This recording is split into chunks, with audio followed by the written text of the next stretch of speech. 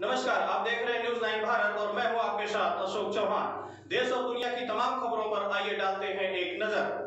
सपा के पूर्व मंत्री रामदुला राजभर के नेतृत्व में सपा का एक प्रतिनिधिमंडल जिलाधिकारी से मुलाकात की। पूर्व मंत्री रामदुला राजभर ने कहा कि राजभर समाज के गौरव महाराजा सुहेल देव की बोर्ड की स्थापना दिनांक 10 सितंबर 2020 को समाज के लोगों ने ग्राम नई तहसील में नगर आजमगढ़ के अराजी नंबर 917 में लगाया था।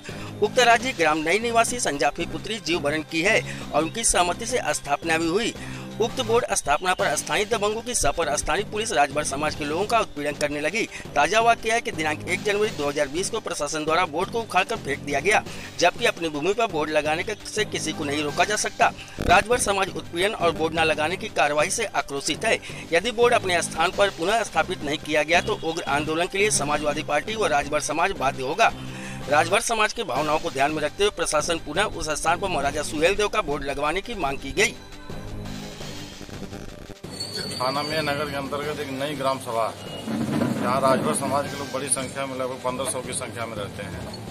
तो वहाँ राजभर समाज अपने पूर्वज महाराजा सुहलदेव राजभर के नाम से एक बोर्ड वहाँ लोग स्थापित किए थे, अपनी ज़मीन में उनकी निजी भूमि धरी थी। लेकिन उसको कुछ अराजक तत्वों के द्वारा प्रशासन से उस बोर्ड को उखड़वा दिया गया।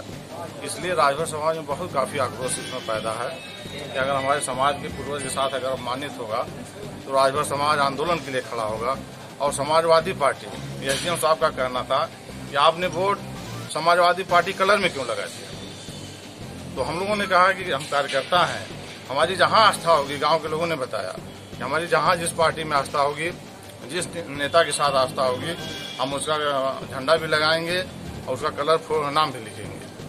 क्या तो मिला है तो एस डी साहब ने कहा कि नाम इसकी जाँच करवाएँगे। डीएम साहब। ने कराने जाँच के लिए करवा, जाँच करवा के आपको न्याय मिल